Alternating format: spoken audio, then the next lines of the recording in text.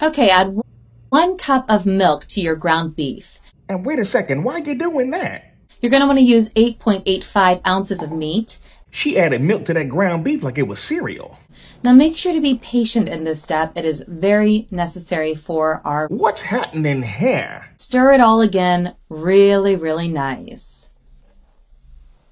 Now, do you have any idea what this recipe is that we're making right now? No, I don't.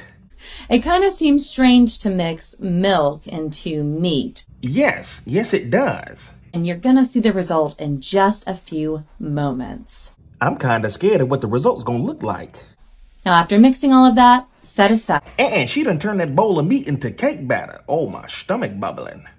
And after stirring, put some of the meat into the frying pan. Now, and now she frying it. Watch this, watch this, watch this, watch this, watch this. Do you know already what the recipe is that we're cooking? And quit, quit asking me, because I don't know.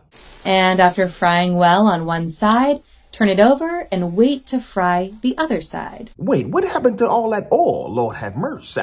And put the meat on a plate and let the oil drip off of it. I mean, wow. Wow, what?